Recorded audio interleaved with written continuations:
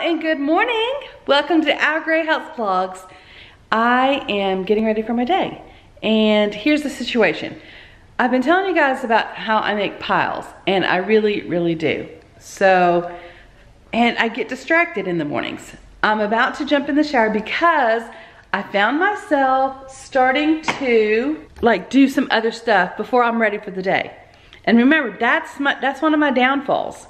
I start doing something, and then before I know it, it's like 9.30, I still haven't showered, I'm still not ready for the day. And to, for me to get ready for the day doesn't take me more than like maybe, it doesn't take me that long. Did you hear him?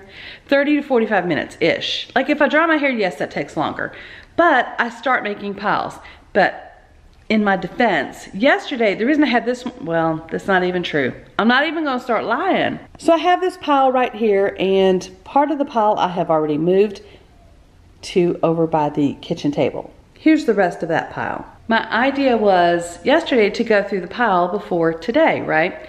But then we unexpectedly had to switch where we were having Father's Day at because my parents' house didn't have electricity and which is totally fine. But I thought, well, let me just put everything over in the corner over there and by the couch. And then when, um, after my folks and my, my sister and all them leave, and in between Carrie and them coming over, I'll, I'll get all that straightened up.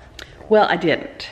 And so then this morning, after Marvin left, I was like, oh, let me move this pile over and see and pack up for work.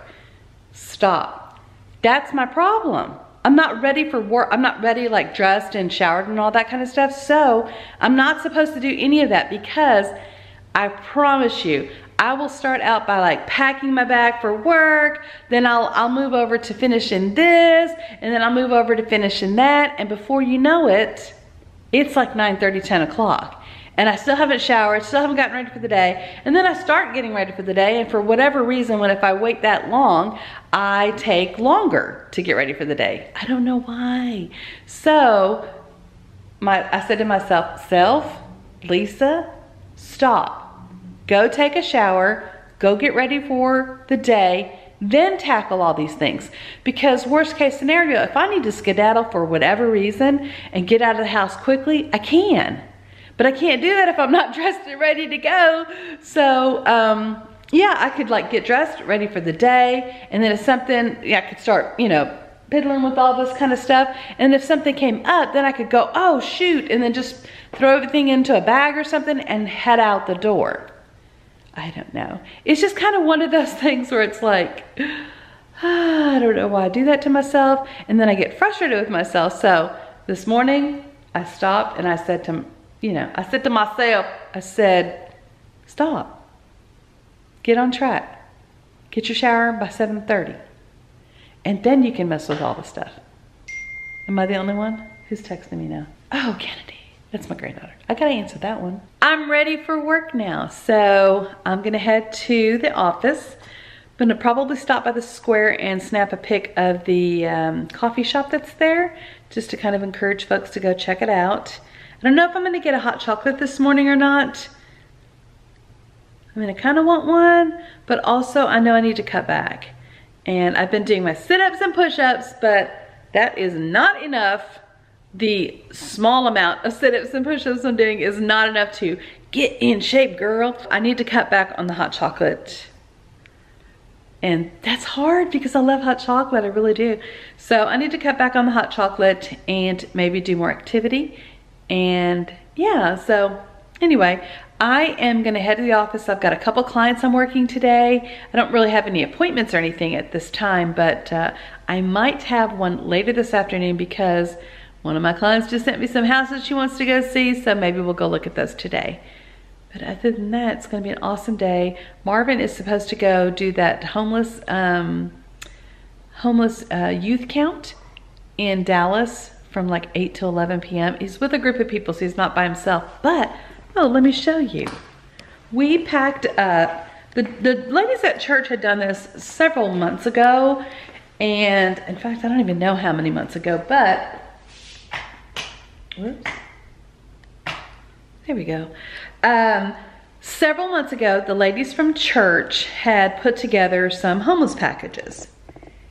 And basically what is in them is toiletries, there are uh, deodorant, there's mints, there is wipes, there's soap, there's band-aids, there are socks, there are a hand sanitizer, uh, feminine products are in there, hair ties, just a whole like plethora of things that we put in those care packages. And kind of the purpose of that is if you see someone who is homeless or perhaps temporarily displaced or something like that, then you could give them one of these care packages so they have a little bit of something um, to, you know, to bathe with, things like that. It's, it's difficult and lots of people have lots of different views on the homeless and how they should be taken care of or treated or dealt with. And um, we're just choosing to show some love and compassion. And so Marvin's gonna pass those out while he's doing the youth homeless count tonight. I think it's a fantastic thing, but I did not go to the training. Literally, the camera just shut off for no reason. I don't know why. Maybe I didn't even record any of that. Ah, dang. Well, let me, let me show you the homeless care packages that we put together. So the gals from church and I had put together several of these back months ago. They include things like a toothbrush and Kleenex, socks, little snack crackers, Band-Aids, wipes, uh, water bottle, uh, feminine products, deodorant, bars of soap. Just little packages of everyday items that you don't really think about not having access to if you're not homeless. So we put those together. And I know a lot of different people will have a lot of different views about how you deal with the homeless and what we can do to improve, you know, that situation. But for us right now, we're just focusing on some compassion care packages. And Marvin's gonna deliver those tonight. He's doing a youth homeless count and I forget what age that they are going to, and I don't even, I really don't know what it's for either, to be honest. But he's going tonight to do that. And I'm super proud of him for being involved. I didn't, I didn't, what? You know what? I don't even know why I'm not, I'm not involved, but he's gonna go do this with some folks and I'm like, yeah, baby, go do it. I helped him make the care packages that, um, that's not part of it. He's just taking that just to show some compassion. So he is going to take that tonight with him. And um, yeah, I think it's going to be an awesome time for him. He really has a heart for the homeless and the hungry. So um, anything that we can do like this, you know, is awesome, I think. And tonight I will be, I don't know what I'm going to do. I'm going to probably be finishing up whatever I didn't get done today. But I'm really trying hard to be super productive in the time that I allot to getting things organized. And I still have stuff in storage. It's very frustrating for me because I'd like to be all unpacked, but also um, I don't have a million dollars and it's like, oh, I need a basket for there, or oh, I need this for that. So I've adjusted my budget to include some monies for like home decor each pay cycle that we uh, that we do that's a whole, budgeting is a whole nother story, y'all. But anyway, so I am doing that. I'm setting aside some money so that way I feel like I can make some purchases without it being, um, what do you call it? Like a, without it being necessarily a, I'm probably gonna have to edit this like really weird because I keep like going off on these tangents of discussion, which maybe you'll find interesting, I don't know, but uh, yeah. I'm gonna go to work now and get some of this other stuff done and then tonight we can chat some more. And then if I go show houses, you can come with me. Y'all, I forgot the camera. I know. There's a fly in here. I forgot the camera, or almost forgot it. There's a fly in the house. Yeah, I know. I don't see it, otherwise, oh, I see it. I gotta try to kill it, sorry. Love you guys, see you later. Alligators, be good. I recently saw a meme that was asking like, do you talk to your cats or do you say goodbye to them? Or? Yeah, I do. Almost, I mean, every day. I was gonna say almost every day, but really every day. I'm always like, hey guys, behave. Don't get into trouble.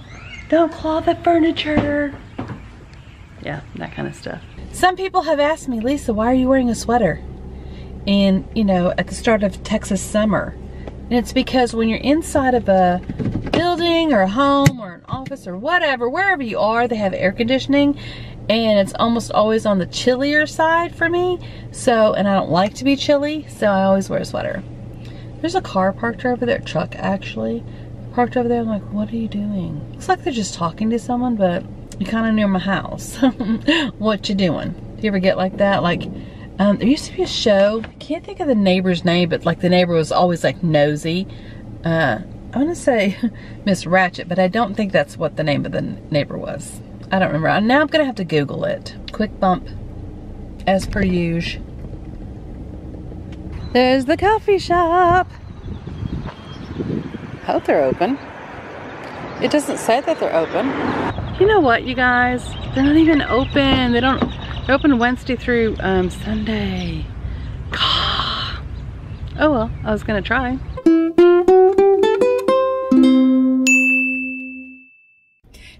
Welcome to Hot Chocolate Chat. Today I'm drinking a hot chocolate from Starbucks. I went by Bear Cave Coffee, but they're not open on Monday, so Starbucks it is. I want to know, what do you do when you're talking with someone that has like a little bit of a language barrier and you've already asked them like, like, what did you say?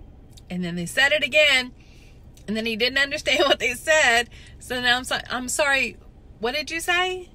So they say it again and then you still don't know what they said and then you're like I legit had I don't know we're we're in line at Starbucks. I have I don't know what you just said. And I've already asked you twice what you said. And then I, you said something and I think it's a question because you keep looking at me like I'm supposed to respond and and we're inside Tom Thumb, and all I can think of is like, I like carrots. I don't know. I don't know how to respond when I don't know what you said, and I feel super bad because I'm like, I've already asked twice, and I still, I still, mm-mm, I. Um, and yes, I was trying to use context clues, but it was just like, oh hey, how's your day going? And then they said, you know, blah blah blah, and so I assumed that that was like a like, you know, great or whatever. They didn't say great. It's just like a normal response. And then I, I made it like a, oh, we've had some crazy weather lately. But I'd already said like, hey, how are you? Oh, I'm fine. Yeah. Crazy weather we're having lately, huh? I'm sorry, what? I'm sorry, what did you say? I like raw carrots.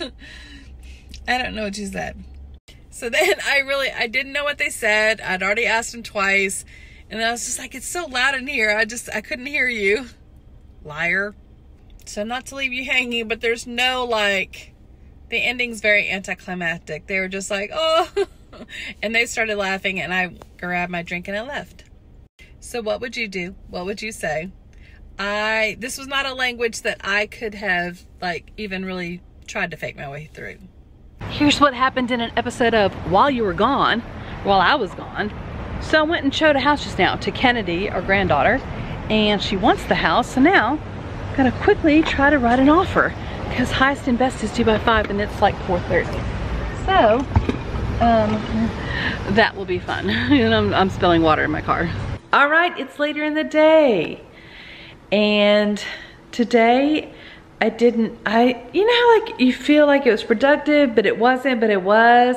That's what today has been in a nutshell. So I'm home and Marvin is out doing his volunteer stuff and I'm not sure what time he'll be home. I don't think they get done doing whatever until like 11. He's normally in bed like 9, 9.30, so he's gonna be tired tomorrow. He took a nap as soon as he got home and we just heated up some dinner. We had leftovers from yesterday, La Casa Casserole. I made the Smokies wrapped in bacon, so we also had that to munch on. And yeah, so I'm home by myself right now. And I'm just editing videos and I'm editing a video. And I'm checking Wing Moms right now because I'm feeling a little tired. And so I thought if I start to get too sleepy, then I need to make sure that I have all of my stuff done so that way it's not gonna be like a deal if I fall asleep or if I, whatever. And then um, my granddaughter wants to put in an offer on, an, on a house which is fantastic. So I need to start writing that up because I want to send that to her so she has time to review it, see if she has any additional questions because this will be her first house. So that's super exciting, but I'm sure it's super stressful for her as well. So I need to do that. I need to feed the cats. It's late, it's 8.22. The cats have normally been fed by now. I, I ate too much today, guys, and I keep saying like I'm gonna get, I'm getting cat food. I keep saying that I'm gonna get back on track with stuff, which, my eating in particular, which I want to, but I haven't. And so I need to get back on track with my eating. I have not consistently, and consistency is the key, of course. I need to get into the habit of going at least for like some sort of physical activity every day, whether it be walking around City Lake Park, which is right over here, or something like that. Just need to really focus on my health, you know? YOLO, but also YOLO and I can't take for granted my health and think it's always gonna be the way that it is. Blech. Cat food. Actually, this doesn't smell that bad. I've smelled worse cat food where it's like, Blech, you know, like really gross. You guys hungry? Oh, he is hungry. Normally to feed the cats, I just give them a small can of cat food, just like the little tiny one. And I split it in half. So in effect, they probably get, I don't know how much comes in like the larger like tuna size can of cat food. I'm not sure how much comes in that one, but they get two of the small ones, which I think is the same as one big one, and they split. So they only eat like half a can a day. They eat half a can of the small one in the morning and half a can of the small one at night. So if you add this up, that's just one small can per cat. And I think there's two cans, small cans in a bigger can. I could be wrong. I could be totally off on that. And then I leave them kibble out all day long. And I just give them Meow Mix, the kitten uh, formula.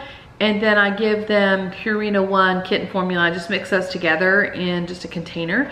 And that's what I feed them or just leave out for free feeding all day long. So and um, then I clean my cat box in the morning and at night. So that's how I take care of my cats. But they didn't get fed yet, so I need to feed them and I've got it in this dish. Sometimes I add a little bit of water to the cat food, even though it's wet food and it does, you know, contain water. Sometimes I add a little bit of wet, I add a little bit of wet. I add a little bit of water to make kind of like a gravy kind of thing. And sometimes they like it, sometimes they don't. Yes. Come on. Come on.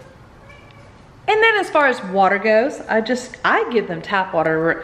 Marvin, he busts out the filtered water, which is fine. I'm all for spoiling the cats. I don't mind at all. So what I'm gonna do now is, um, I'm gonna go take off my makeup and I'm going, going to, going to go, I'm going to go and finish posting for Wing Moms. I think I have all but like two posts to do. So I'm gonna take a look at the next like three or four days and see what I need to post. And then I'm gonna call it a night. Well, I'm gonna work on the offer really quick. It won't take me that long at all. And then I'm gonna call it a night because mama's tired. And I've got several events and activities over the next several days that I'm gonna be involved in. So I need to make sure I get some rest time. So I wanted to thank you guys so much for watching and I do appreciate it. And I'm getting a little bit better about uploading. I'm getting some more videos uploaded and ready to go, so that's fun. And if you're not following my Instagram, check me out over there because I do Insta stories and stuff like that, so it's kind of fun too. But anyway, thank you guys so much for watching. Don't forget, be kind to others. I was reading some comments on a Facebook group.